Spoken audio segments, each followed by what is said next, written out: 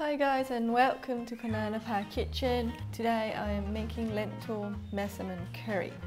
It is my own recipe and every now and then I like to get creative with ingredients. Alright guys, let's get started.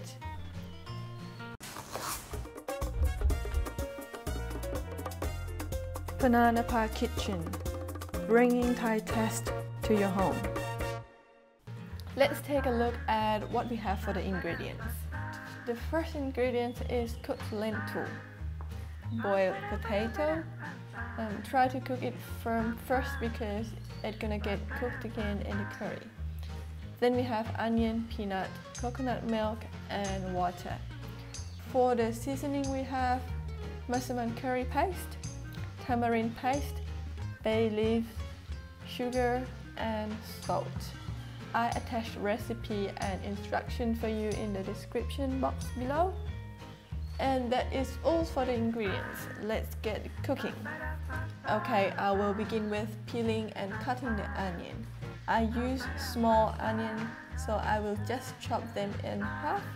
If you use larger onion, you can cut them into quarter pieces. Now, let's fry our curry paste. So we're gonna begin by adding half a cup of coconut milk into a pot together with the curry paste. Stir the curry paste in coconut milk until it is well dissolved. Keep stirring until the coconut milk is cracked or when the oil is separate from the milk body. You can observe by looking at the surface.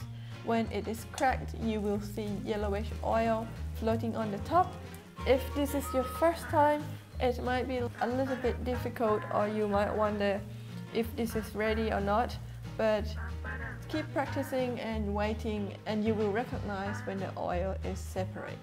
It is quite easy to detect. Next, you can add the rest of the coconut milk and water and then add onion. It will take about 15 minutes for the onions to soften down you can let the curry simmer over medium heat at this time.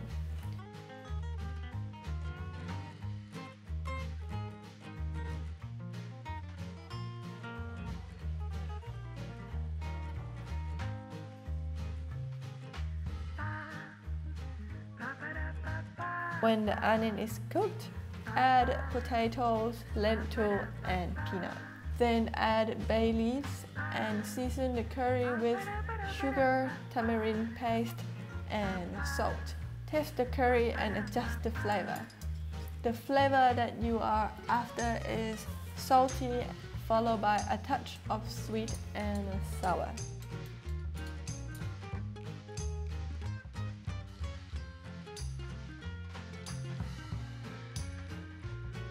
Here it is guys, our lentil massaman curry. If you like to learn how to cook Thai food, you can join my free workshop on my website. And if you would like to try my curry paste, I attached links for you below as well. I hope you enjoyed your curry. We'll see you next week with awesome recipes and cooking tips. Have a great day everyone. สวัสดีค่ะ